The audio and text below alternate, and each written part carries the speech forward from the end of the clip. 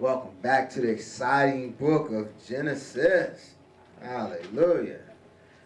We're moving right along, y'all. We're in chapter 34 today. Yeah. Hallelujah. All right. That being said, let's jump right in. Let me have my first reader read Genesis 34, 1 through 5, please. And Dinah, the daughter of Leah, which she bare unto Jacob, went out to see the daughters of the land.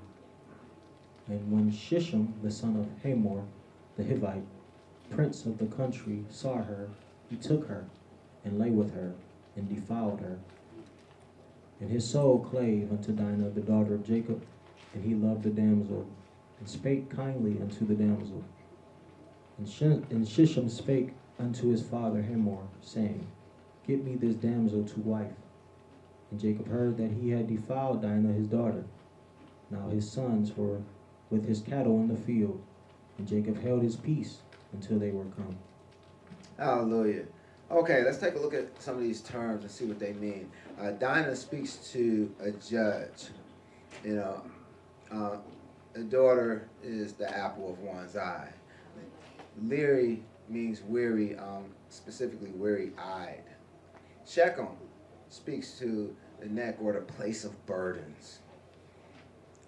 Hamor speaks to a male buttocks.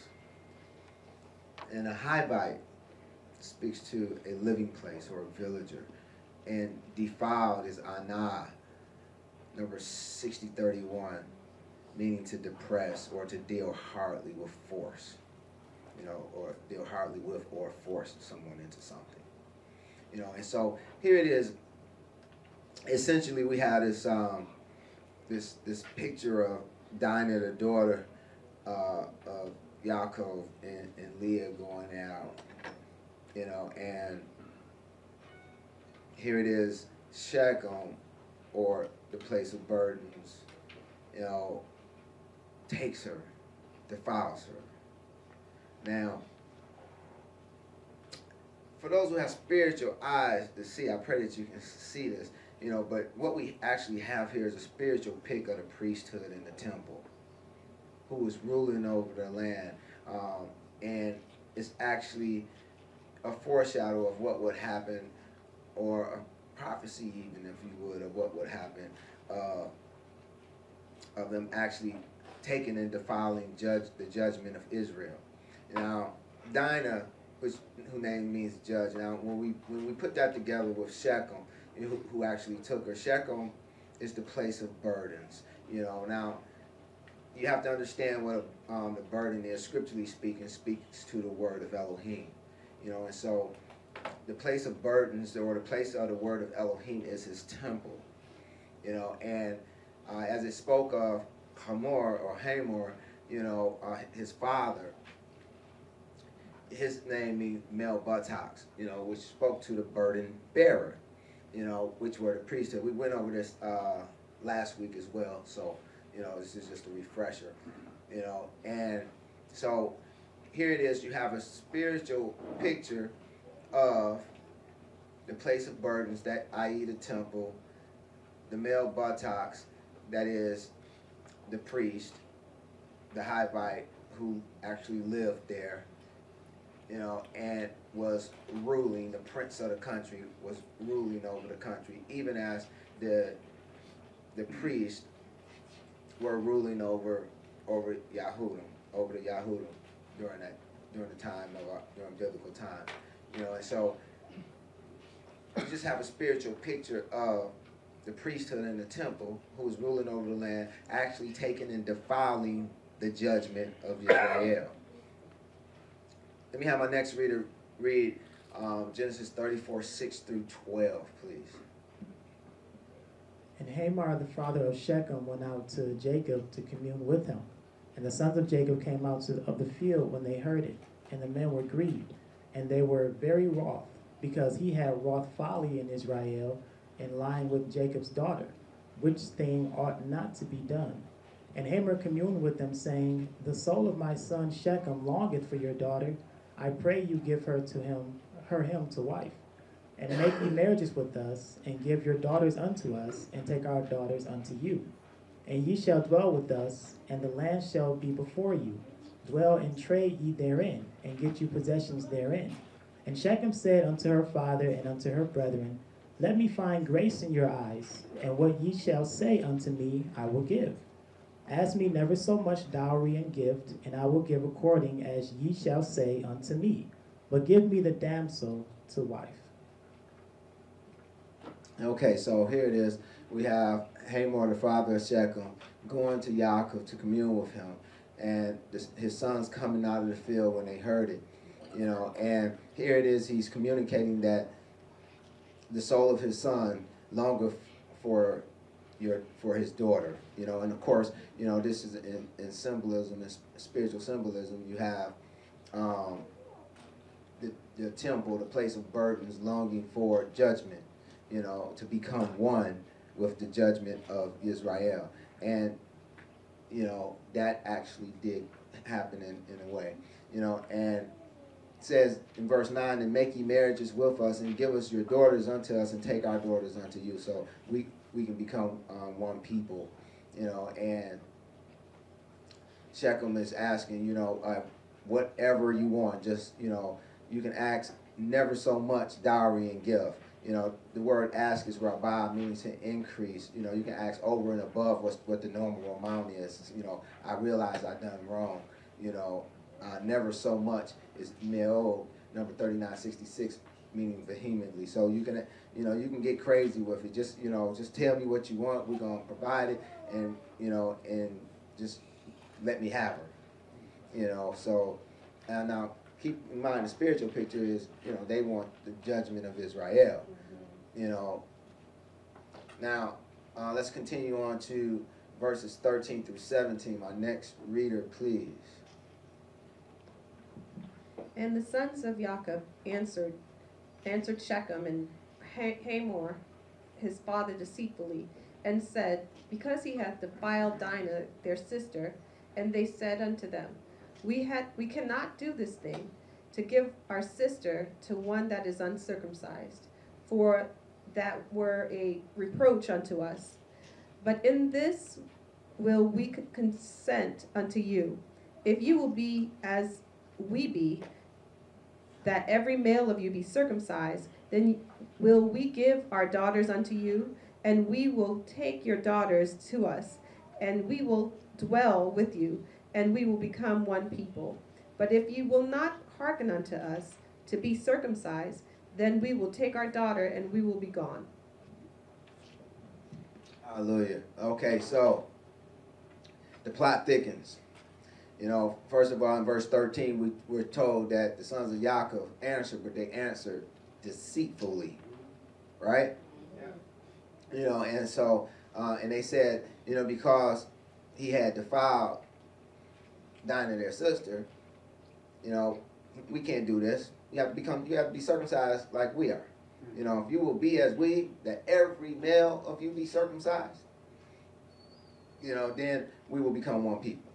But if you hearken not unto us to be circumcised, we'll take our daughter and we'll be out of here. We'll, we'll go. You know, now, it's an important um, um, thing to keep in mind. You know, concerning the circumcision. And it's found in Genesis 17 11. It says, And ye shall circumcise the flesh of your foreskin, and it shall be a token of the covenant betwixt me and you. You know, so when one was circumcised, that became a token of the covenant between them and Elohim. You know, concerning the the uh, blessing of Abraham. You know, so you know, this is why this becomes a big issue, you know, in the Brit Hadashah, in the New Testament. You know, you have to remember that circumcision is the token of the covenant. It's the sign of the covenant betwixt Yah, um, Yah and the ancient Israelites. Okay? Moving right along, we have my next reader read verses 18 through 24. And their words pleased Hamor and Shechem, Hamor's son. And the young man deferred, deferred not to do the thing, because he had delight in Jacob's daughter. And he was more honorable than all the house of his father. And Hamor and Shechem his son came unto the gate of their city and communed with the men of their city, saying, These men are peaceable with us, therefore let them dwell in the land and oh, trade therein, for the land behold it is large enough for them. Let us take their daughters to us for wives, and let us give them our daughters. Oh, herein will only herein will the men consent unto us for to dwell with us, to be one people. If every ma- male among us be circumcised as they are circumcised, shall not their cattle and their substance and every beast of theirs be ours? Only let us consent unto them, and they will dwell with us. And unto Hamor and unto Shechem his son hearken, all that went out of the gate of his city, and every male was circumcised, all that went out of the gate of his city. Hallelujah. Okay, so the plot thickens again. You know, so here it is. You know, they take the words of Yaakov's sons and they go back and try to sell it to their community. You know, it says in verse 18 the words, please Hamor and Shechem, um, Ham- Hamor's son. You know, and so he deferred not to do the thing because he had delighted Yaakov's daughter and he was more honorable than all the house of his father. You know, just like, uh, um, you know, Yah had chose to put his name, you know, in in uh, the tribe of Yahuda in Jerusalem, and hence it became more honorable than all the rest of the places of Israel. You know, now it, he sells the story to his brethren, and they they go for it. You know, now here's the thing. This is where the plot thickens because they wasn't totally uh, honest either. They had an ulterior motive as well, and it's and it's it jumps out at us in verse 23. You know, hence Shechem says, "Shall not their cattle and their substance and every beast of theirs be ours?" So this is the incentive for them to to buy into it. Only let us consent to them, and they will dwell with us. You know, so you know they may not have been totally honest uh, themselves, and remember they started off with rape. You know, so continuing on, um, verses 25 through 31. My next reader, please. And it came to pass on the third day, when they were sore, that two of the sons of Jacob, Simeon and Levi, Dinah's brethren, took each man his sword, and came upon the city boldly, and slew all the males. And they slew Hamor and Shechem his son with the edge of the sword, and took Dinah out of Shechem's house, and went out. The sons of Jacob came upon the slain, and spoiled the city, because they had defiled their sister. They took their sheep and their oxen and their asses, and that which was in the city, and that which is in the field, and all their wealth, and all their little ones, and their wives took they captive, and spoiled even all that was in the house. And Jacob said to Simeon and Levi, Ye have troubled me to make me to stink among the inhabitants of the land, among the Canaanites and the Perizzites, and I being few in number, they shall gather themselves together against me, and slay me, and I shall be destroyed, I and my house. And they said, Should he deal with our sister as with an harlot? Hallelujah. Okay, so um, this story essentially foreshadows the destruction of the temple and its priesthood, depicted by Hamor, the male buttocks, and Shechem, the place of burdens. You know, and we're gonna take a look at its um, at uh, its fulfillment. You know, I just wanted to point out a couple of things. You know that that that hints at you know something more behind the scenes, if you would. You know, when we look at um, chapter 20, I mean, verse 26, you know, we see it speaks of Hamor and Shechem, you know, but it's, it speaks of, um, there's an Aleph Tav there that doesn't get translated, you know, and we spoke about the Aleph Tav um, before, whereas, uh, you know, oftentimes the translators didn't know what to do with it, you know, and, and um, they say it points to the direct object, you know, but sometimes it doesn't you know, and sometimes they just don't know what to do with it, and so it just doesn't get translated at all. And this is like one of those times, you know. But when you realize that the Aleph is the first letter of the Hebrew alphabet and the Tav is the last, you know, and you realize what the Messiah said that he is um, in the Greek, he says the Alpha and Omega, which in the, in the Hebrew would translate to the Aleph and the Tav. You know, then you begin to see, you know, um, what it really represents, and that is our Messiah. You know, and so when you start, when you, you see the Aleph Tav before Hamor and the Aleph Tav before Shechem, then you know um, you also see that they that there's more than meets the eye. You know, there's a spiritual significance behind this Hamor and Shechem. You know, hence they're Yahshua's Hamor and Yahshua's Shechem. You know, and of course it's um, where it's speaking to the temple and the priesthood. You know, as well as the spiritual aspect of it. And I'm gonna try to show like uh, the spiritual uh, fulfillment, you know, that happened in the Brit Hadashah. You know, in order to see this, you have to uh, recognize that the ecclesia was uh, depicted in, in the Brit Hadashah or the New Testament as feminine, as a um, uh, prospective bride of Messiah. Amen. You know, and you know, so the Messiah was was also called their brother. You know, so spiritually speaking, you know, it fits the mold. You have you have a a, a sister of of Yahuda or a Yahudim, the Yahudim. Our Messiah is the Yahudim. He's the main one. He's the the true praiser of Yah, amen. And you know, and you have his prospective bride, the ecclesia, you know, and she is going to get taken and defiled. You know, let's, um, you know, now that I gave you the precursor, let's take a look. Um, we're going to take a look at Acts 5, 17 through 20. Um, and then we're going to jump down to verses 26 through 29. My next reader, please. Then the high priest rose up, and all they that were with him, which in the sect of Sadducees, and were filled with indignation, and laid their hands on the apostles, and put them in the common prison. But the angel of Adonai by night opened the prison doors, and brought them forth, and said, Go, stand and speak in the temple to the people all the words of this life. Then went the captain with the officers, and brought them without violence. They feared the people, lest they should have been stoned. And when they had brought them, they set them before the council, and the high priest asked them, saying, Now we straightly command you that you should not teach in the name. And behold, ye have filled Jerusalem with your doctrine, and intend to bring this man blood, this man's blood upon us. Then Peter and the other other apostles answered and said, We ought to obey Elohim rather than men. Hallelujah. Okay, so here it is. We have the high priest, you know, Hamor, you know, the, the male but- buttocks.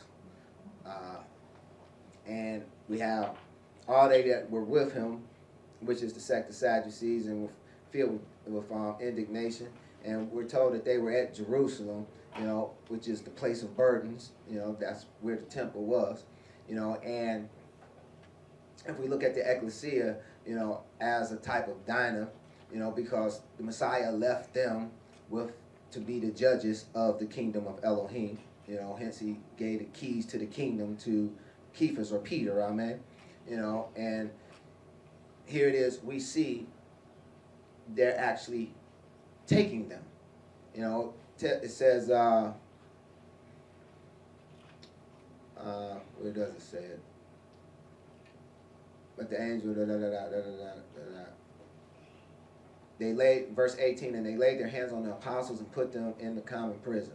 So they literally you know, um, did take them.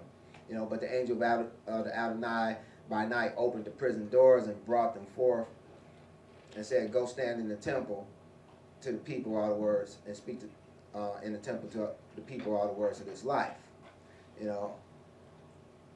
So then went the captains and they brought brought with them out. We fast forward, you know, and we see that the that they brought the people out and they're asking them, well, why did you do this? You know, we did we didn't we command you not to do this? You know, you done filled all of Jerusalem with your doctrine, you know, and of course, Kephas and the other apostles answered, we ought to obey Elohim rather than men. You know, but we see there, you know, they did take Dinah. They did take the ecclesia, you know, and the thing is, is after they after they took them, you know, they began, you know, when they seen that they couldn't overcome them, you know, they want their souls begin to long for them, even as Shechem's soul longed for Dinah, and they wanted to become one with them, you know. And so, what did they do? They became one with them. How did they become one with them? That they, um, that was by infiltrating them, infiltrating them, you know. And so, um, we see evidence of this throughout the Brit Hadashah. In Acts 15, 1 through 5, it says, And certain men which came down from Judea taught the brethren and said, Except ye be circumcised after the manner of Moshe, ye cannot be saved. When therefore Paul and Barnabas had no small dissension and disputation with them, they determined that Paul and Barnabas and certain other of them should go up to Jerusalem unto the apostles and elders about this question. Now we see, you know, this is the council that was in Jerusalem. So we see Dinah here, she truly was judging, you know, and they became one with the judgment of Elohim, you know, as, as you're going to see. And it says in verse 3 and being brought on their way by the, by the church, they passed through Phoenix and Samaria, declaring the conversion of the Gentiles, and they caused great joy unto all the brethren. And when they were come to Jerusalem, they were received of the, of the ecclesia and of the, of the apostles and elders, and they declared all things that Elohim had done with them. But there rose up certain of the sect of Pharisees. Now, um, you know, and it says, which believe, saying that it is needful to circumcise them and to command them to keep the law of Moshe. So, what I want you to see is how Shechem was had longed to become one with him so much so that he had violated them by infiltrating them and began to insert their influence over the apostles. You know, and so this is what we see going on here in Acts 15 with Apostle Paul. You know, they're going against what Apostle Paul is actually teaching and teaching something else and confusing the people.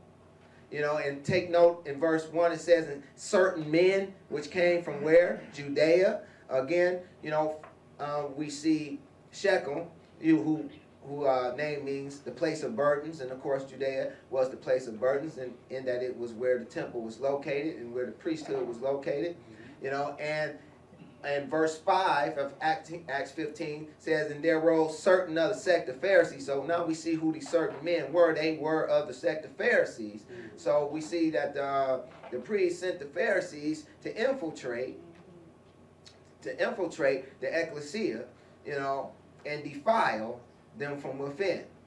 You know, and so it says, but there rose up certain of the sect of Pharisees which believed, saying that it was needful to circumcise them and to command them to keep the law of Moshe. Now, why were they so adamant about getting them to keep the law of Moshe? And this is this is essential if you're going to understand what Paul is talking about in Galatians. You know, because if you don't understand, you know, what the um, circumcision represented, which what we um, we just went over, which is the the signal or distinguishing mark of the old covenant. You know, so especially in their day and time. See, and that's something when people consider these scriptures, they don't they oftentimes don't take themselves back to that day and time. But if you go back to that day and time, then you see that the the, the priesthood and the Pharisees, they were in power. You know, just like just like in the story just like in the story with Shechem and Hamor, and it said that they were the prince over all their country, they were in power. And so, who were they in power over? They were in power over those of the circumcision. They were in power over those who had, who um, who was adhering to the law of Moshe. Hence, they wanted them to command them to keep the law of Moshe. Can you see this? You know, because in doing so, that would have gave them authority over them, and they could prove it. How could they prove it? Easy. They would tell the men, drop your drawers. See, he's circumcised. He's one of us. You know, and that would be their evidence. You know, and they could show scripture, say, see, this is the sign of the covenant. See, but, you know, a lot of times that get overlooked. you know, but this is what gave them authority or would have given them authority over the Gentiles who, if they weren't circumcised, they would have no way to prove that they had authority over them. Mm-hmm. You follow me? Yeah. You know, now, Paul, in talking about this very same thing in Galatians 2, 4, and 5 says, and that because of false brethren, unawares brought in. See, you know, Acts don't just speak about this. Apostle Paul speaks about it in Galatians. Uh, he, he calls them false brethren, unawares brought in. And because of false brethren, unawares brought in, who came in privily to spy out our liberty, which we have in Mashi- Mashiach Yahushua, that they might bring us into bondage. How would they bring them into bondage? Because if they got them to be circumcised, then they were bound to keep Torah. And if they wasn't keeping Torah, they had the authority to to um to bring them before the the uh the, the rulers of Rome and have them be beaten or killed, even like they did our Messiah. See, you have to understand that they were in power during that time, and their power was directly derived from the law of Moshe. You know, it was centered around the circumcision, especially when it came to the Gentiles, because that's the only way they could prove that they were one of theirs. You know, so this is what Paul is saying, you know, that they came in privily, privately to spy out our liberty that we have in Mashiach Yahushua, that they might bring us into bondage. They want to bring you into bondage. Don't fall for it.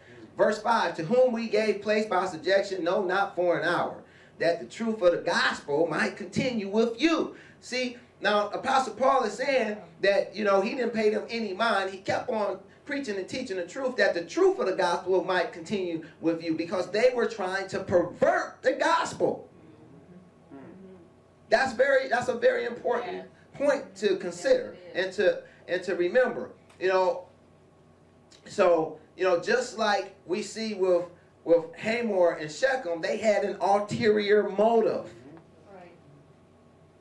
Now, also, you know, these these aren't the only two accounts in the Brit Hadashah that speak of these uh, these certain certain men that came in, you know, that was false brethren. Jude um, speaks of them as well in, in verses three and four of Jude one. It says, "Beloved." When I gave all diligence to write unto you of the common salvation, it was needful for me to write unto you and exhort you that ye should earnestly contend. Earnestly contend earnestly contend for the faith which was once delivered unto the saints. Why? Verse 4 For there are certain men crept in unawares who were before of old ordained to this condemnation ungodly men, turning the grace of our Elohim into lasciviousness and denying the only Adonai Elohim and our Adonai Yahushua Mashiach. I pray that you can see, you know, that what was happening during that time, you know, was that these these men that were Pharisees were crept into the faith and began to pervert the faith, began to defile it, even as Shechem went into uh, Dinah and defiled her. You know, they crept in unawares.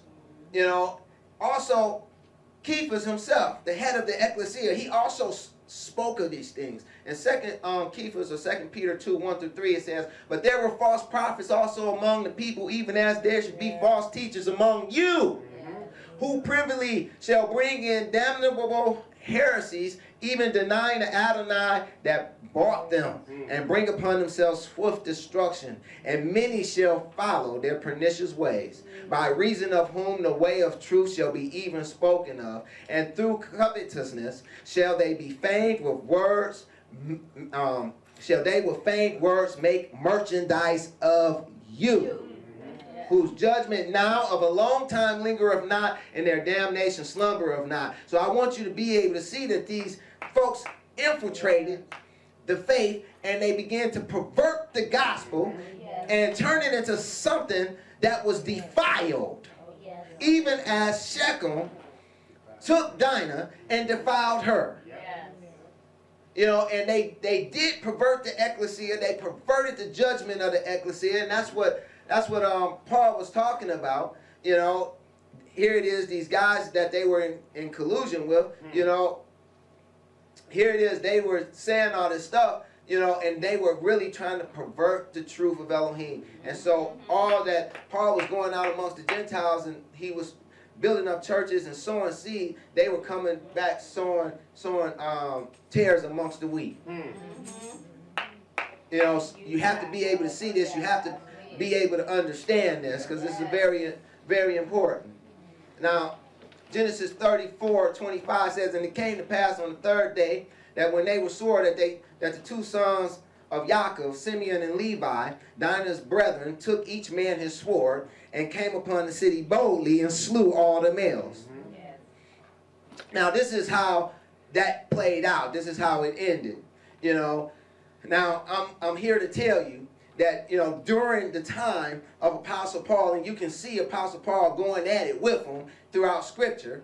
You know, but during the time of Apostle Paul as well as Apostle um, Cephas and Apostle James, you know, when you know they, they all speak of these they all speak of these um, these these men that crept in unawares that began to pervert the gospel, that began to defile the ecclesia, that um, defile the faith. You know, now here it is. It takes the sons of Yaakov to destroy them. You know, it takes the sons of Yaakov, even Simeon and Levi, to destroy them. Simeon, you know, which um, means hearing. So it takes one that's hearing from Elohim, and Levi, which means attached to, you know, attached to Elohim and attached to the people. So Simeon and Levi, so it's one that hears from Elohim, that's attached to Elohim, but also attached to the people. It's take for them to take up their sword, i.e., the word of Elohim, and go into the faith and destroy those of the circumcision that's causing the problem. You know, now when we look back at history, we see that this truly did happen. We see that they were destroyed, were they not? You know, in 70 AD, the temple were, was destroyed, the priesthood was done away with, even as you see in Genesis 34. Hamor and Shechem, you know, were done away with. You know, and it was because they messed with Dinah. Mm-hmm. You know, and the same thing with the temple is because they messed with the ecclesia. Yeah. They were done away with. The Messiah had prophesied it, you know, and it came to pass just as he said. You know, now I also want you to understand, you know, something from one of the wisest men that walked the earth. You know, uh, that is King Solomon. Yeah. In Ecclesiastes 1 9 through 11, he says, The thing that have been guess what? It is that which shall be. Yes. And that which is done yes. is that which shall be yes. done. And there is no new thing under the sun. None. Is there anything whereof it may be said, see this is new? Nothing. It have been already of old time which was before us.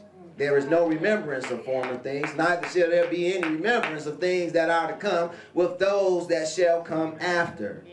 You know, you have to know and understand, even as the word teaches on three different levels. It teaches even as the Messiah, who is the word, even as he said, I'm the same yesterday, today, and forever. The word teaches concerning yesterday, today, and tomorrow. Amen? You know, and so once we understand that, and we understand the wisdom that Paul, that um, that uh, King Solomon is giving us, you know, that the thing that have been, it is that which shall be, then we can understand that this is going to happen again. Mm-hmm. And that which is done, um, which was done then, is that which shall be done. Yeah. You know, so I'm saying this because I want to encourage you because it's already done happened. Yes. Yes. You know, again, the faith has been infiltrated yeah. by, by false teachers yeah. that have spread damnable heresies all through the faith. That's right. And it's up to those of us who are hearing from Elohim and who are attached to Elohim and to the people to go throughout the faith and pull our swords and destroy them. Yeah. Because they pervert the faith. Yes. They lead people astray. Yes. You know, so the same thing that was is the same thing that is is the same thing that's going to be.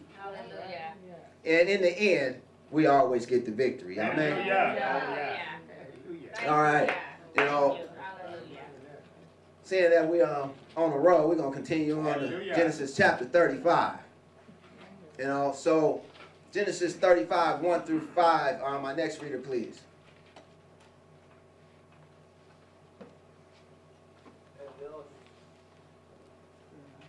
oath. And Elohim said unto Jacob, Arise, go up to Bethel, and dwell there, and make there an altar unto Elohim that appeared unto thee when thou fleddest from the face of Esau thy brother. Then Jacob said unto his household, and to all that were with him, Put away the strange gods that are among you, and be clean, and change your garments. And let us arise and go up to Bethel, and I will make there an altar unto Elohim, who answered me in the day of my distress, and was with me in the way which I went.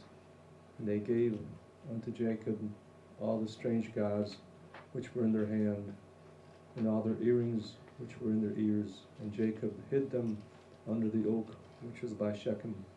And they journeyed, and the terror of Elohim was upon the cities that were round about them, and they did not pursue after the sons of Jacob.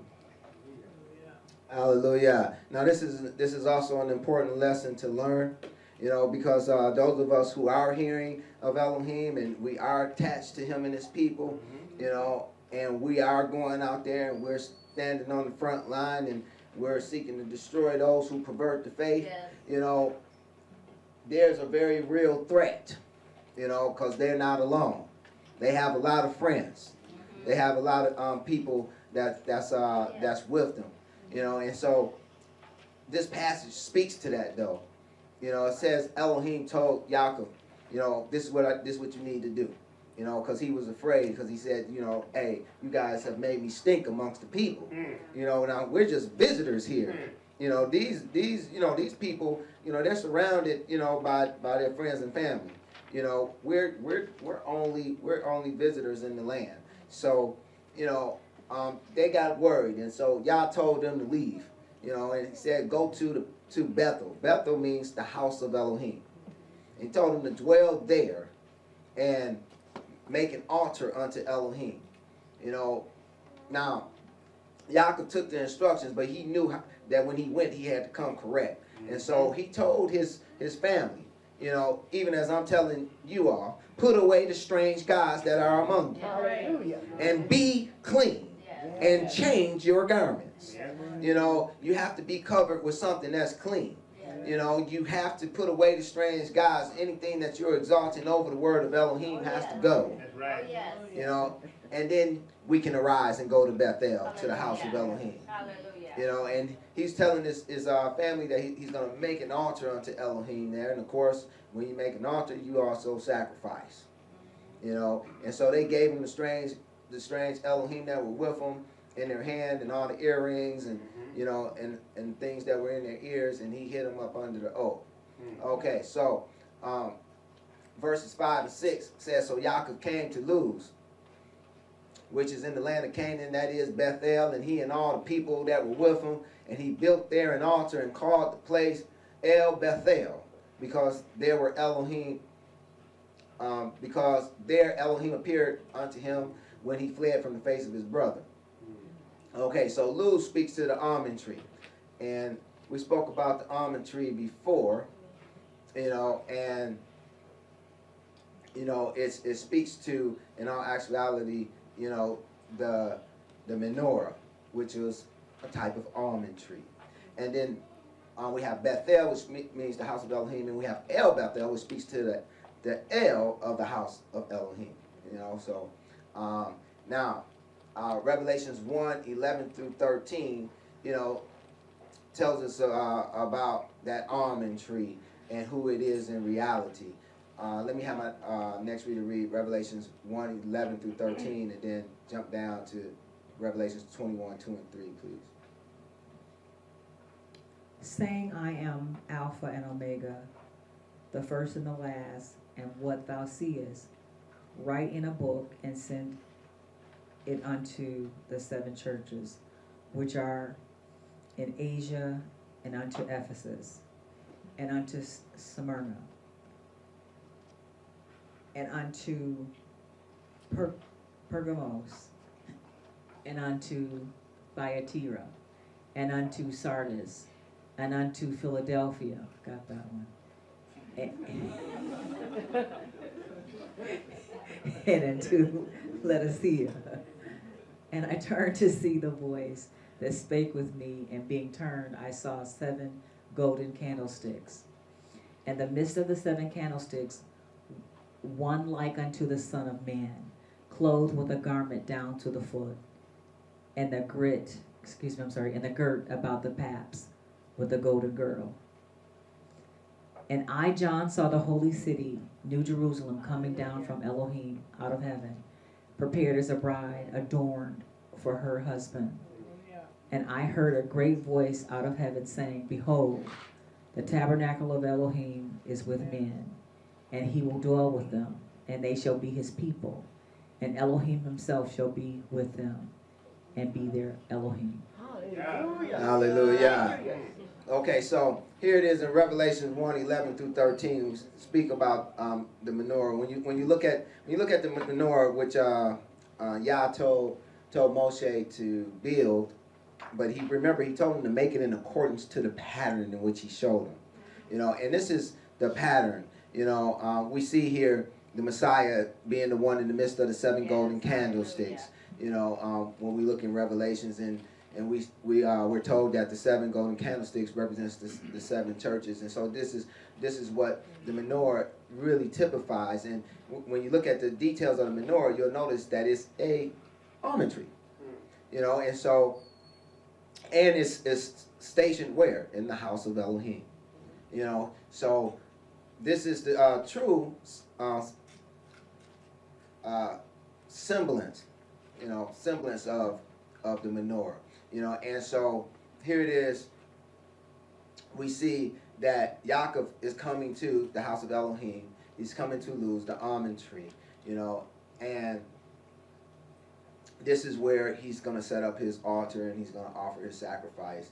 You know, and ultimately, you know, it will be in New Jerusalem. You know, New Jerusalem. You know, um, and he, we see in verse 3 says, Behold, the tabernacle of Elohim is with men, and he will dwell with them. You know, and I tell you even today, behold, the tabernacle of Elohim is with men, because scripture teaches us that ye are the tabernacles of Elohim. Amen. You know, these fleshly bodies. You know, so make sure that your menorah, that your almond tree is lit. Amen. All right, Genesis 35, 8. But Deborah, Rebekah's nurse, died, and she was buried beneath Bethel under an oak, and the name of it was Allon Bachuth.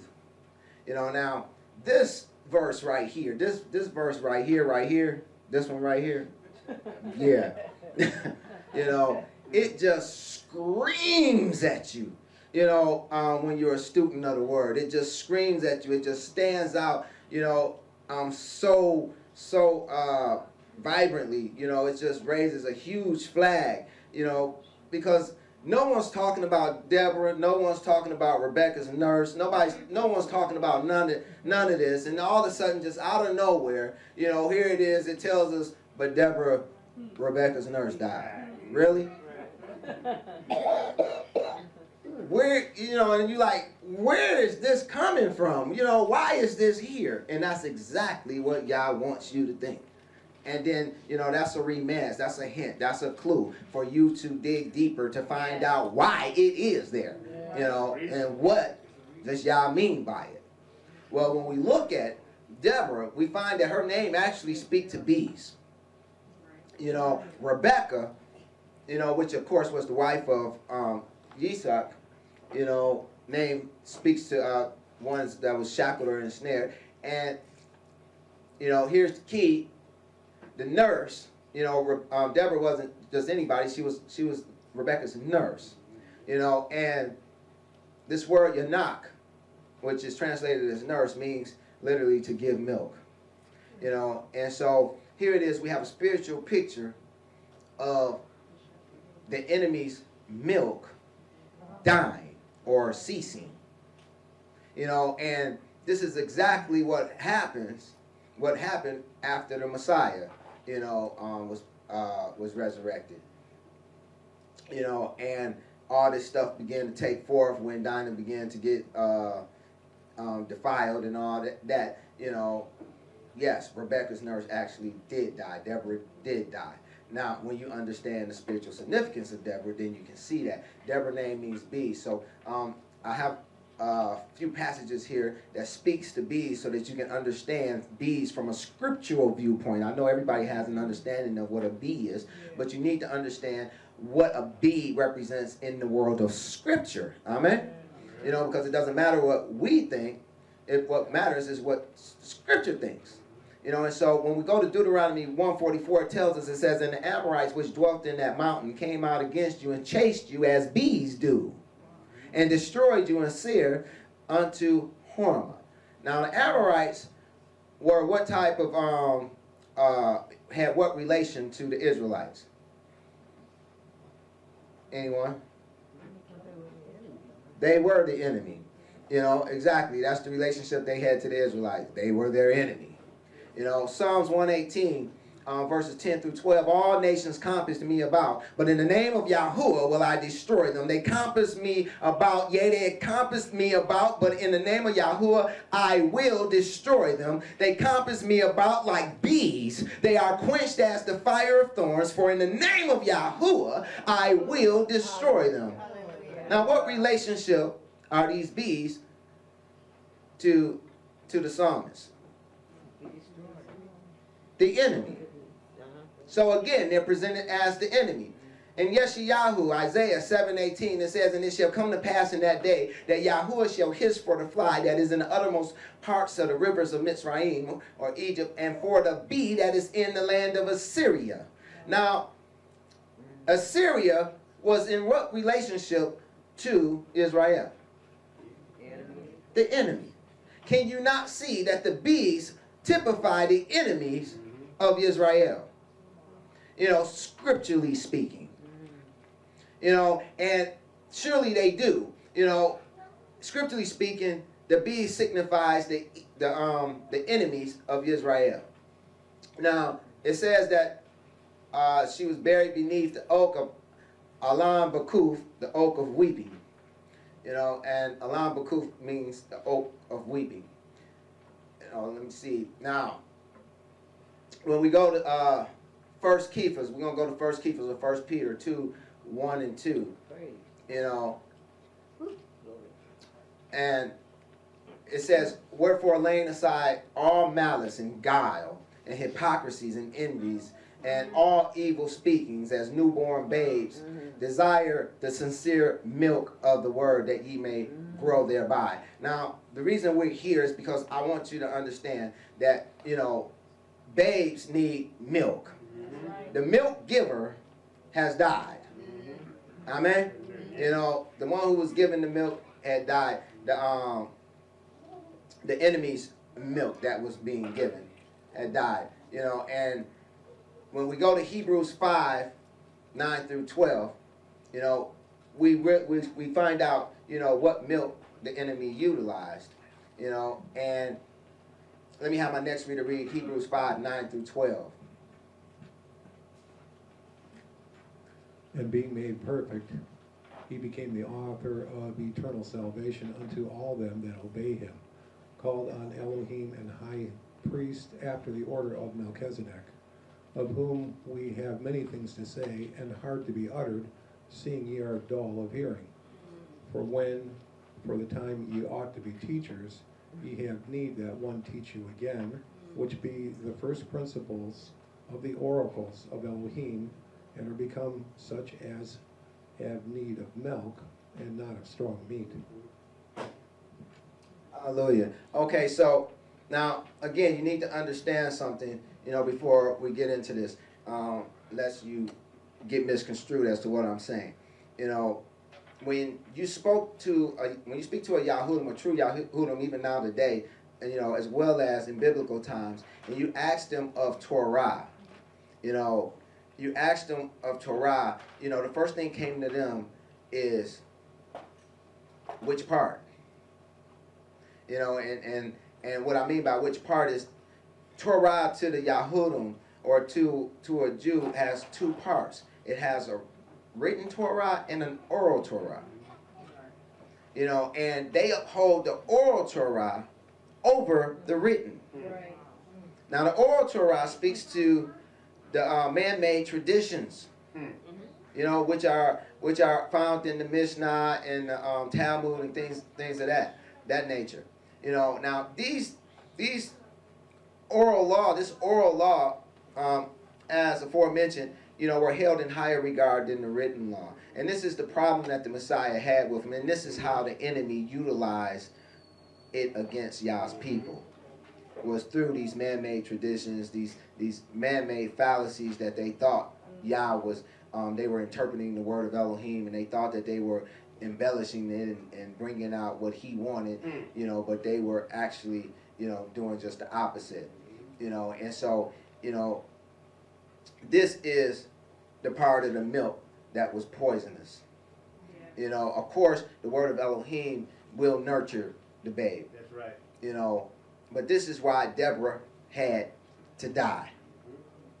You know, this is why she had to die because the enemy was using was using that. You know, and so here it is in, in Hebrews five. It says, "And he became the altar of eternal salvation unto all them that obey him." Now, of course, that's speaking about our Messiah Yeshua, right? Yes. you know, who is the author of our eternal salvation. Now, take note that it says all who obeys him. That's the key, Yeah. you know, because they have to obey him. Now, it says in verse 11, it says, Of whom we have many things to say and hard to be uttered, seeing ye are dull of hearing. So he wants to talk to him of what Yeshua said, you know, but he understands that they are hard of hearing. They're dull of hearing. Mm-hmm. You know, and the reason why they're dull of hearing, he tells us in verse 12, he says, For when the time ye ought to be teachers, when you ought to be teachers, ye have need that one teach you again the first principles of the oracles of Elohim, and are become such as have need of milk. So he's likening the milk to the first first principles of the oracles of Elohim. You know, now those first principles of the oracles of Elohim is as that milk and which they are in need of. You know, and so he's saying that's what you need, not strong meat. You want to hear about what Yahshua said, but that's that'd be like, you know, a lot of what Yahshua said was strong meat. Mm-hmm. You know, and even he himself, just the, just knowing about him was was bread, because he was the bread of life. Amen. You know, like you're not there yet. You know, I have to start back over with you. You know, yeah, you should be teachers, but now you need to go back to the milk. You need to go back to Torah. You know, now uh, just to to show that these first principles of the oracles of Elohim is speaking to Torah, let's go to Romans 3, verses 1 and 2. It says, What advantage have the Yahudim? Or what profit is there of circumcision? Verse 2 Much every way, chiefly because that unto them were committed the oracles of Elohim. Now we know what was committed to them was Torah. Amen? You know, which is which he's referring to as the oracles of Elohim, which in Hebrews is being referred to um, those who who are in need of such um, as those babes that need milk. You know, and then in verse 13 of Hebrews 5, he says, For everyone that useth milk is unskillful in the word of righteousness, for he is a babe. You know, and you're not going to understand this if you don't understand what righteousness is. You know, and um, I believe it's uh, Deuteronomy six fifteen or 620, 625, you know, um, you know, that, that, that tells us that Torah, you know, was their righteousness, you know, was to be the righteousness of Israel. You know, and, and so he's saying, You're unskillful in the word of righteousness, for he is a babe. See, because Yahshua brought a new righteousness.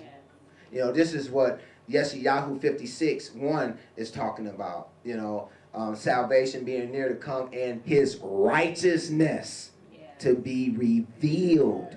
If it has to be revealed, then that means that they don't already see it. Amen.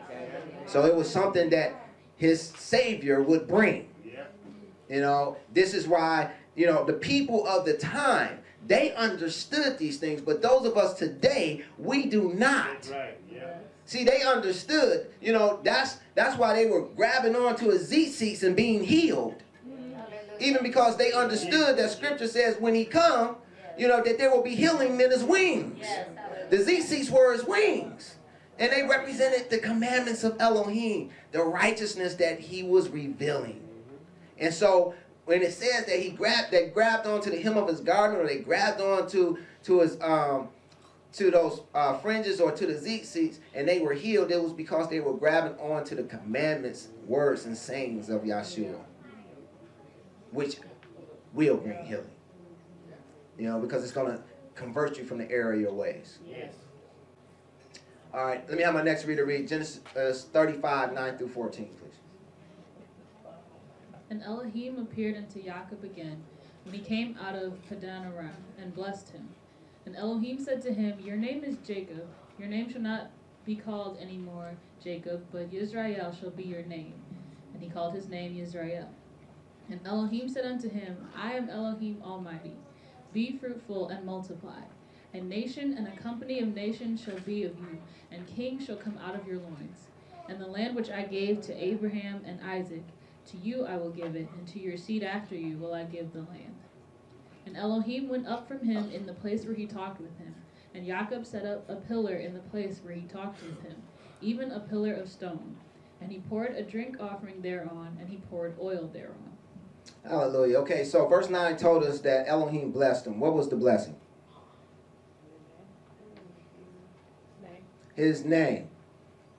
The blessing was, Thy name is Yaakov. Thy name shall not be called Yaakov anymore. Yaakov called any more Yaakov, but Yisrael shall be thy name. That was the blessing. That was the blessing when he received it the first time, and it's the blessing when he's receiving it again here. You know, here it is. Yah's confirming what the angel he wrestled with had already told him that his name shall be Yisrael, and that is a blessing. Don't you know that it is a blessing for you to take on the name Yisrael?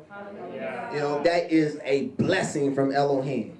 You know, and the understanding that he has given me concerning Yisrael is that it's a compound word, Yishra and El. Yish meaning man, Ra meaning evil, El speaking to Elohim, and he who wrestles with good and evil and prevails by holding on to the good, which is Elohim, Yes. shall prevail. That is Yisrael. You know, and so, you know, I implore you to take this blessing and run with it. You know, because you know, all of us, you know, if we're gonna walk this thing out, are gonna find ourselves wrestling with with man and wrestling with Elohim. Man say to do this, that, and the other. Yah say to do do um, that, such and such, and the other thing, right? You know, but which one you gonna hold on to? You know, and Elohim said unto him, I am Elohim Almighty. Be fruitful and multiply. Now remember, he's telling them to do what? Be fruitful and multiply. You know, so he has a command right there. That's you know, that's a directive. He's telling them be fruitful and multiply. You know, now keep that in mind. Put it on the shelf for a second. We'll pull it down in just a minute. Now, it says that Yaakov set up a pillar in this place and he poured oil upon it. You know, uh, when you pour oil upon something, you know, another word for that is called anointing. So here it is, you know, he set up a anointed pillar.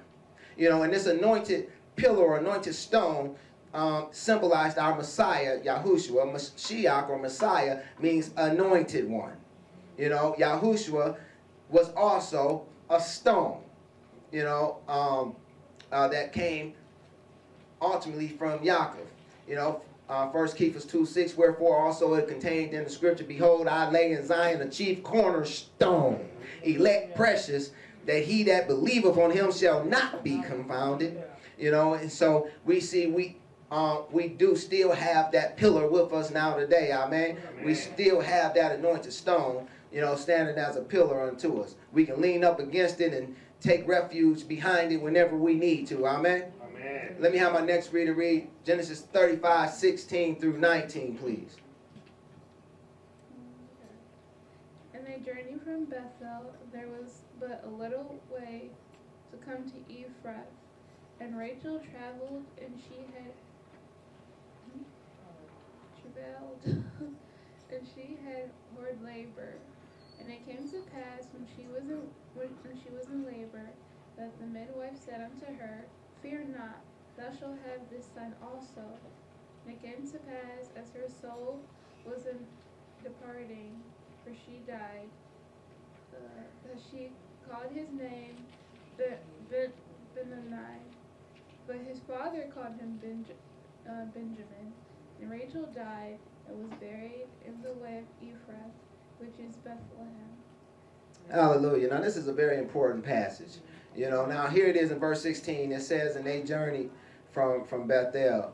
Um, and they journeyed from Bethel um, from the house of Elohim. You know, now, after the destruction of the temple, everyone of the faith had to journey from Bethel, did they not? You know, um, because the house of Elohim was no more. So, um, not in that spot anyway. You know, so had to move on. Now, after such, you know, we have the same commandment that was given unto Yaakov. Um, we had just put it on the on the shelf. What is the commandment? The directive that Yah gave him? Be fruitful and multiply. Be fruitful and multiply. Absolutely. You know, that's what we need to do. Amen. You know, now, uh, now, now keep that in mind. Now it says that there was but a little way come to Ephrath. Ephrath or Ephrath um, means fruitfulness. Now you think that's just coincidence that he just told them to be fruitful and multiply, and the place that they're heading to means what? Fruitfulness. That is not a coincidence. Okay, that is Yah. That's Yasa. You know, now, what happens? Rachel, in the process of being fruitful, dies. You know, now you have to be able to get the spiritual picture here because this this is this is huge. And because in verse 18 it says, And it came to pass as her soul was in departing, for she died, that she called his name Benoni, which means son of my sorrows. But his father called him Benjamin, which means son of my right hand. Who's at the right hand of the father? The son. Hallelujah. Hallelujah, Yeshua.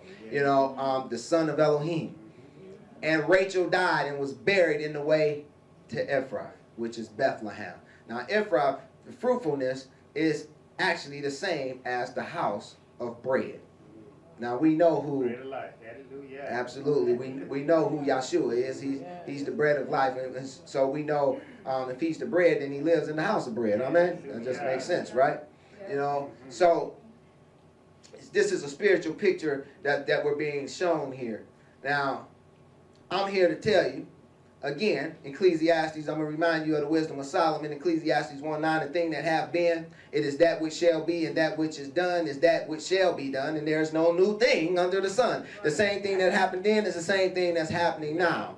You know, and even as Yah told Yaakov to be fruitful and multiply, he also tells us that we need to be fruitful and multiply. Even as Rachel, Rachel whose name means a ewe, a lamb, you know, even as the Messiah was a lamb, you know, we are supposed to pick up our torture stakes and follow him, amen. Even as he was a lamb, we're supposed to be lambs, and we're supposed to be following him, and his and and the lamb of Elohim ended up on the altar of Elohim and being sacrificed. So, and we are lambs as well. Where should we end up? On the sacrifice. Being sacrificed. On that same altar being sacrificed, right? You know, and this is why you see in the Brit Hadashah, you know, um, passages such as Romans 12, which says, you know, um, present yourselves as a living sacrifice, holy and acceptable unto um, Elohim, which is your reasonable, reasonable service. That's just being reasonable. Let's just be reasonable. You know, we're not asking for no extra right now. We just want to be reasonable, right? You know, now, you know, the important thing to see here, though, you know, let, oh, well, let me bring something else out. You know, in Yochanan 3 3, Yahushua answered and said unto him, Verily, verily, I say unto thee, except a man be born again, he cannot see the kingdom of Elohim. And the reason I bring this up is because all of us uh, are as a Rachel. You know, all of us are as ewe lambs, and we're walking this thing out, right? You know, and we all have the commandment to be fruitful and multiply. Amen. You know, and the point that I'm trying to bring across here is that in order for us to bring forth fruit, the flesh is going to have to die. Yeah. Amen. I pray that you can see that within this. You know, Rachel had to die. She had to sacrifice herself so that Benjamin could be birthed. Yep. This is why she called him Ben Benoni because it truly was the son of her sorrows, but it was a benefit, you know, to the father. Yep.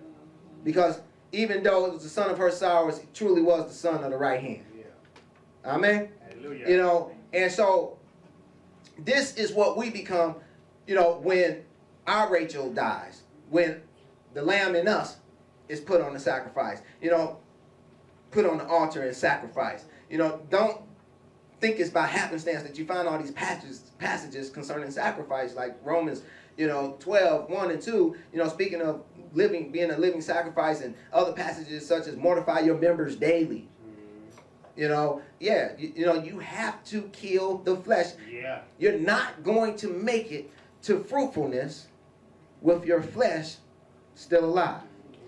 Because the thing that have been is it that which shall be, and that which is done is that which shall be done. So there's no new thing under the sun, so you can't do it a new way. Mm-hmm. See, you can't do it a new way. You can't do you can't do it your way. You know, this is not Burger King. You can't have it your way. You know, you got to take it the way it's given. And this is the way God has given it.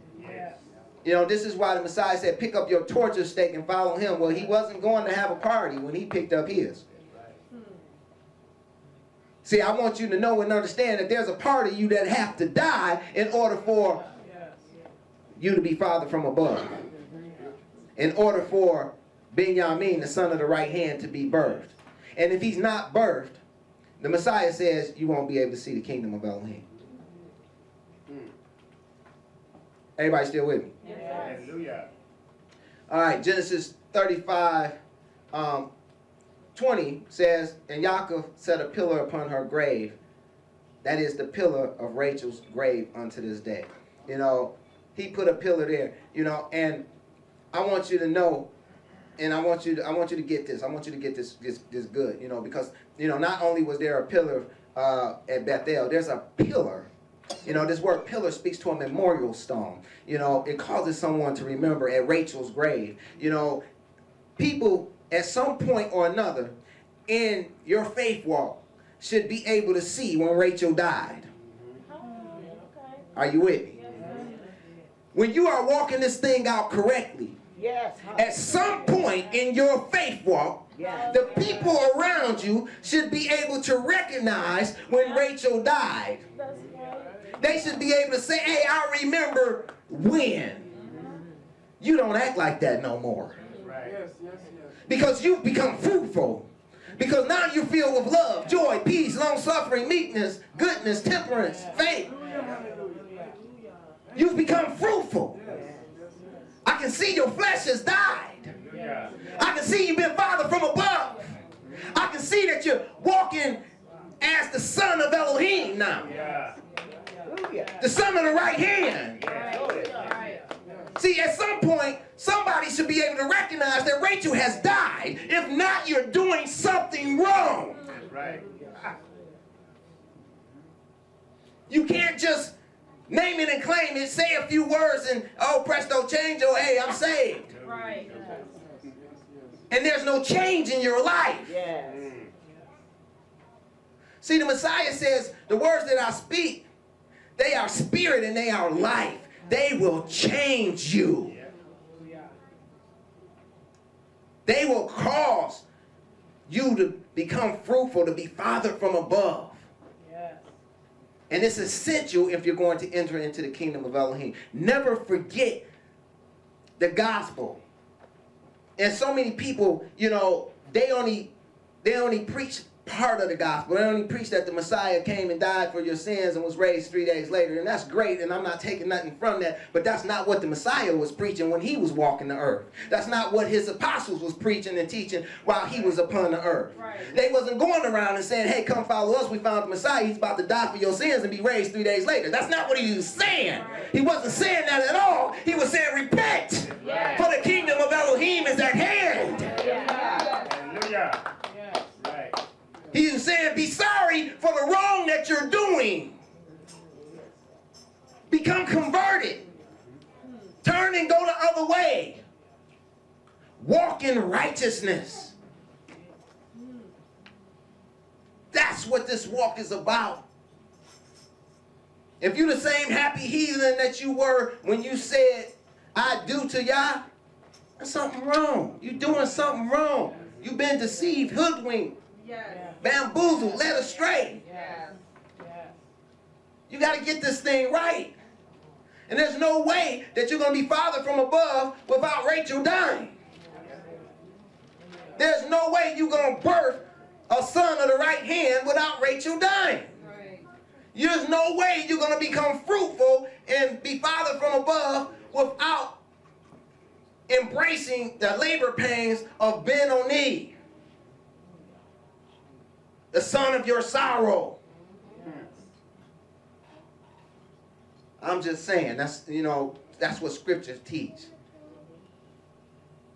Genesis 35, 21. And Israel journeyed and spread his tent beyond the tower of Edar. You know, now for all of us, all of you trying to walk this thing out, this is this is really important too. You know, I hate to be so long-winded, but it is what it is. You know, um, verse 22, and it came to pass, and when Israel dwelt in, in that land, that Reuben went and lay with Bilhah, his father's concubine, and Israel heard it. Now the sons of Yaakov were 12. Now this, this passage here also screams, it screams out, say, hey, understand me. Hey, why? Because this is the first time that the narrative addresses Yaakov as Israel. This is the first time that the narrative actually addresses him as Israel.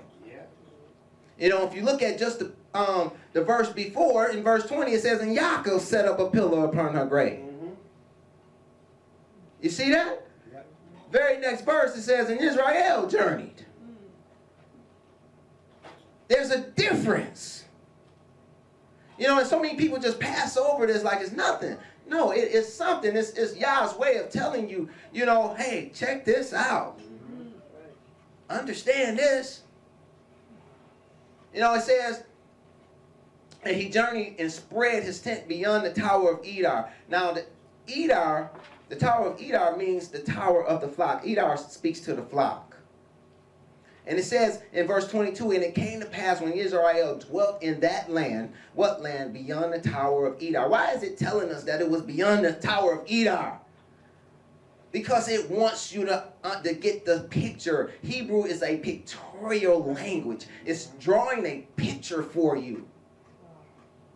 You know, now what you should be seeing is Israel journeying, and he's way beyond, because that word beyond means far, far away from the Tower of Edar. He's far away from the Tower of the Flock. So the towers were, were, were made to be lookouts. So he's far away from where he can actually see the flock. That's the spiritual picture that's being that's being denoted here. He's far away from being able to see the flock, and something happens. Reuben went and lay with Bilhah, his father's concubine, and Israel heard it. Now the sons of Yaakov were 12. Now, you know, what this is telling us is that anytime, you know, anytime that you stray so far away, you know, like some of people say become spiritually minded but no earthly good. Any anytime you stray so far away from the flesh that you can't see it, that you can't mm. watch over it, then the enemy is going to come in. And how is he going to attack? Who is he going to attack? He's going to attack Bilhah. Bilhah name means fearful. So he's going to attack you through your fears. Mm-hmm. Reuben names means behold ye a son. You know, so you're going to see one of the sons of Elohim. Mm-hmm. You know, remember who was called the son of Elohim, even, even Satan and his cronies, right? One of the sons of Elohim is going to come and lay with Bilhah the fearful. And it's going to be a problem. It's going to be a problem amongst the flock. You know, now Genesis 49, 3 and 4 um, tells us, it says, Reuben, thou art my firstborn, my might, and the beginning of my strength, the excellency of dignity, the excellency of power, unstable as water, thou shalt not excel, because thou wentest up to thy father's bed, then thou then defilest thou it. He went up to my couch. There was it was not without consequence. You know, and this is why this is here, because in the very next passage, it's going to give you a rundown of his sons, but he wants you to know that this is this is this was not without consequence. When we go to First Chronicles 5 1, it says, Now the sons of Reuben, the firstborn of Israel. Then this in parentheses, it says, For he was the firstborn, but for as much as he defiled his father's bed, his birthright was given unto the sons of Joseph, the son of Israel. And the genealogy is not to be reckoned after the birthright. You understand? See, so now it's not about just being a son. It's not just about being the firstborn. You know, the one who replaced him was Ephraim. Remember what what I told you to put on the shelf, right? You know, um, what Yah told us to do: be fruitful and multiply, right? You know, now guess who replaced Reuben as the firstborn? Ephraim, whose name means doubly fruitful. You know, so it's not enough just to be a son, but you have to become fruitful as well. This is why the Messiah said, I am the vine, ye are the branches. You know, and that that it is Yah's will that you just that you bring forth um, fruit abundantly. That you bring forth much fruit. This is what Yah wants from us. He wants us to become fruitful. You know, it's not about the firstborn. In other words, it's not about your your race. It's not about you know what bloodline you were born into. You know because because uh, Ephraim wasn't even Yaakov's biological son. It was his grandson, and he was half Egyptian. Amen. So it's not about race. It's about fruitfulness. Genesis 35, 23 through 29, and the sons of Leah, Reuben and Yaakov's firstborn, and Simeon and Levi and Judah and Issachar and Zebulun, the sons of Rachel, Joseph and Benjamin, and the sons of Bilhah, Rachel's handmaid, Dan and Naphtali, and the sons of Zilpah, Leah's handmaid, Gad and Asher. These are the sons of Yaakov which were born to him in Padan Aram. It, there's no it's, it's not by mistake that he tells us that before he gives the genealogy mm-hmm. of Yaakov. It's so that you can know and relate that Reuben not really the firstborn now. Right. Spiritually speaking. Verse 27, And Yaakov came unto Yisak his father, unto Mamre, unto the city of Arba, which is Hebron, where Abram and Yisak sojourned. In the days of Yisak was a hundred and fourscore years, and Yisak gave up the ghost and died, and was gathered unto his people, being old and full of days, and his sons Esau and Yaakov buried him. You know, um, said he was 104 score years. 100 speaks to the wow. children of promise, 80 to mouth for speech. And so we have the children of promise who goes goes about and speaking, you know, the words of Elohim. You know, I'm going to stop right there. That's all I have for you today. Prayer was a blessing.